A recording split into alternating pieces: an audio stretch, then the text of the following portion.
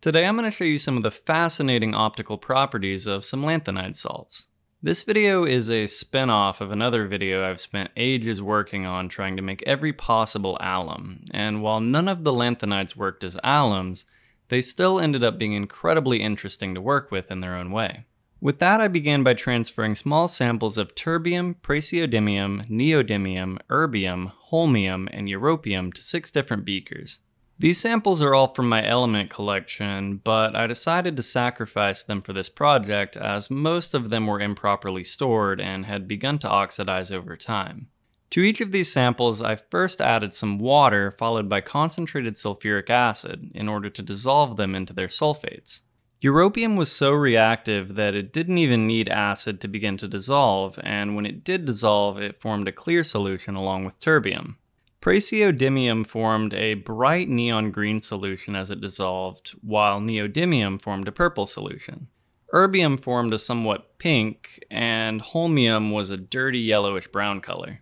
Now, at first, everything seemed to be going perfectly, with each of these metals dissolving far more cleanly than I expected. However, as usual, I very quickly started running into problems.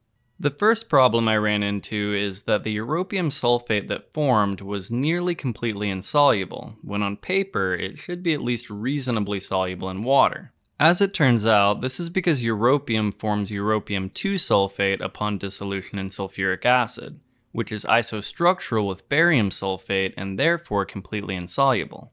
This was pretty easy to fix though by the addition of some hydrogen peroxide, which readily formed the much more soluble europium 3 sulfate. As for the rest of the samples, the biggest problem I ran into was the sudden realization that each one of these salts exhibited very clear and dramatic retrograde solubility. This is a property of a few different salts, most of which are sulfates, where solubility decreases as temperature increases. This obviously makes crystallization a headache, but it also made dissolving the metals in the first place pretty annoying. Basically what began to happen is that as the metals dissolved and the concentration of their sulfates increased in solution, the piece of metal itself became completely encased in its sulfate and unable to further react. This was a very difficult thing to work with as the dissolution of metal in acid is quite exothermic but at the same time, trying to cool these reaction mixtures down to prevent their crystallization only slowed the reaction to a crawl. Over the course of a few days, I finally worked through these problems, and during that time, I began to notice something strange as I was carrying the beakers back and forth from my fume hood to my workbench. At first, I thought I was finally losing my mind, and it looked like holmium in particular seemed to change color depending on the type of light it was under. Eventually, I did some testing and found that holmium appeared yellow under full spectrum LED light, but somehow red under fluorescent light. I went ahead and tested this on all the lanthanide salts I made and found that the rest of the colored ones also exhibited this same property to different extents. The next most dramatic one was erbium, which was a sort of salmon color under full spectrum light, but a deep purple that looked very similar to holmium under fluorescent light. Neodymium seemed to lose most of its color under fluorescent lighting, but really only in solution, while crystalline neodymium sulfate was seemingly unaffected. Praseodymium sulfate seemed nearly unaffected, and maybe became a bit less vibrant under fluorescent light, but certainly didn't exhibit the dramatic changes of the other three. I then decided to test all the samples under 395 nanometer UV light, which was pretty unremarkable and resulted in no color change of any of the samples. However, under 365 nanometer UV light, the terbium and europium samples showed definite red and green fluorescence. This was somewhat muted with the europium sample as most of the red color came from the bit of europium sulfate that had crystallized out in the bottom. The terbium sample, however, exhibited strong green fluorescence in solution. As for why lanthanide salts are able to do this, it all comes down to their unique use of the f orbital. The f orbital is buried two levels below the principal valence orbital, meaning it's even deeper buried than the d orbital. In both cases, quantum mechanical calculations would tell us that electronic transitions are impossible in both cases.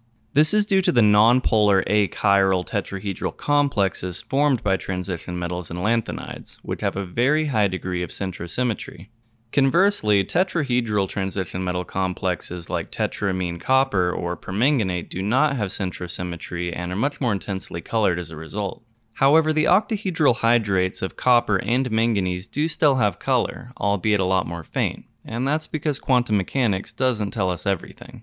More specifically, vibrational asymmetries which are not accounted for under Born-Oppenheimer approximations allow for very limited transitions between the d orbital and the f orbital.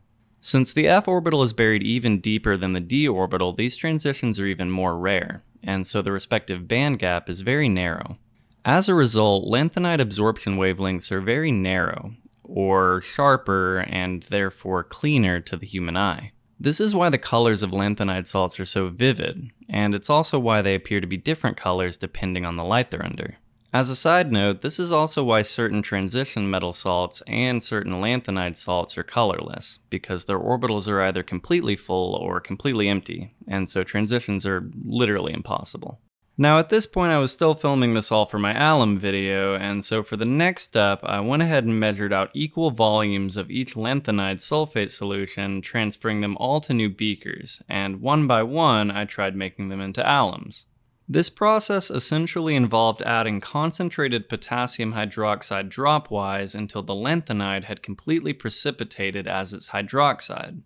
I would then slowly add more sulfuric acid dropwise until the hydroxide had redissolved, which would result in a slightly acidic solution containing potassium ions, lanthanide ions, and sulfate ions. This mixture ideally would slowly form crystals of a potassium lanthanum sulfate dodecahydrate in typical alum fashion. However, what actually happened was that terbium, praseodymium, neodymium, and europium all formed highly insoluble double salts that nearly immediately crashed out as a fine powder. These salts all being retrograde soluble couldn't be heated and then cooled to form larger crystals, and so the only option was to dissolve them all in a large excess of water and wait weeks for the water to slowly evaporate. These never did form alums though, and the issue isn't that the lanthanides didn't form double salts, the problem is that these double salts were not dodecahydrates and so they couldn't form the desired alum crystals. Erbium and holmium, on the other hand, didn't seem to form double salts at all and simply formed hard salt layers as their solutions evaporated. I don't know if these two even form hydrates at all, and were both a nightmare to try to crystallize throughout the entire process. Now, even though the alum making side of this was a failure, I do think the fact that terbium, praseodymium, neodymium, and europium can all form highly insoluble double salts with potassium is a very useful thing to know and could be a very good way to maximize recovery of the particularly expensive europium and terbium salts. Now, at this point, I was a month in on something I expected to spend no more than a week working on and was ready to be done with these lanthanides for the time being. With that, I went ahead and allowed all the samples to crystallize as much as they could through evaporation, and then collected each one by vacuum filtration. Here I have the final samples of the potassium double salts of terbium and europium, which both show intense fluorescence under 365 nanometer UV light. Given the fact that the praseodymium and neodymium double salts are dramatically less vibrant than their pure sulfate counterparts, these two might be even more strongly fluorescent in a pure sulfate form, which I'll have to try out at some point. As far as the rest of the lanthanide sulfates go, they all exhibit the same optical properties as dry crystals that they did in solution, which I had a lot of fun messing around with. With that, the rest of the video at this point is just footage I got showing off the different samples under different types of light, which you can feel free to keep watching. On that note, I'll go ahead and close and say that I hope you found this video interesting, and as always, I want to thank all my incredible patrons for their generous contributions. Your support is vital and very appreciated. And to everyone else, if you'd like to see more content like this, consider subscribing on TikTok, YouTube, Instagram, or even by becoming a patron yourself. Thank you all so much for watching, and I'll see you next time.